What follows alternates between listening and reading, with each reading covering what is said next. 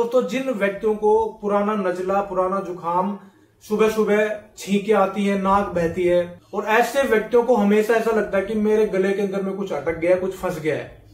जिन व्यक्तियों को हमेशा बलगम बाहर गिरता है या फिर अंदर की तरफ़ गिरता है। थोड़ा सा ठंडी हवा में जाते थोड़ा सा एसी के नीचे जाते उनको जुकाम हो जाता है, क्योंकि रोग प्रतिरोधक क्षमता उनकी बिल्कुल खत्म है। तो आज मैं एक ऐसा रामबाण और चमत्कारिक उपाय आपको दूँगा। सिर्फ़ तीन चीज़ों कॉम्बिनेशन बना के आपने इस उपाय को बना के रख लेना है। सुबह शाम लेना है। इतना ज़बरदस्त फ़ायदा करेगा कि दूसरी दवाई लेना भूल जाओगे। इसमें आपने तीन चीज़ें पंसारे की दुकान से लेके आनी है। इसमें आपने छोटी पीपल 25 ग्राम, सौठ 25 ग्राम और काली मिर्च 25 ग्राम। 25-25 ग्राम की समभाग की मात्रा में आप लेके आइए।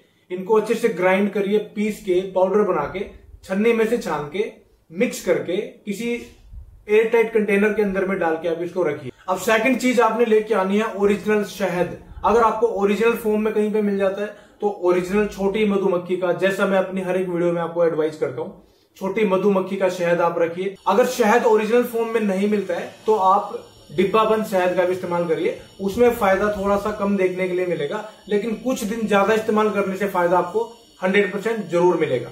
अब तीनों चीज़ों का पाउडर जो आपने बना के रखा है, इसको सुबह और शाम को आपने एक चौथाई चम्मच की मात्रा में आधा चम्मच शहद के अंदर में मिला के अच्छे से इसको आपने सेवन करना है, यानी कि चाट के सेवन करना है।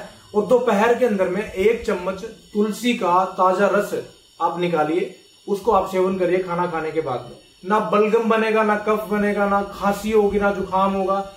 पुराना नजला बलगम हमेशा अंदर गिरता रहता, वो सारा जड़ से खत्म होगा। इसके अलावा सांस के रोग जितने भी होते हैं, छाती के रोग जितने भी होते हैं हर प्रकार के रोग में प्रभावशाली रूप से कार्य करता है।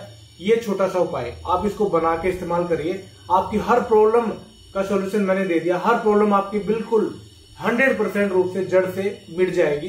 कुछ दिन मात्र इसको इस्तेमाल करने से। तो आपको इसका इस्तेमाल ज़रूर करना चाहिए और जिन व्यक्तियों को नजला बिगड़ चुका है, पुराना दमा तक की प्रॉब्लम में इफ़ेक्टिव ये रेमेडी है तो इसका इस्तेमाल हर एक को करना चाहिए। तो दोस्तों, अगर जानकारी अच्छी लगे तो लाइक और शेयर भी ज़रूर करेगा और ऐसी जानकारी दोबारा पाने के लिए चैनल को सब्सक्राइब करें, घंटी वाले बटन को ज़रूर प्रेस करें, ताकि फ्यूचर में हर वीडियो का नोटिफिकेशन आपको मिल जाए। तो आज के लिए इतना ही है। वीडियो को एंड तक देखने के लिए धन्यवाद।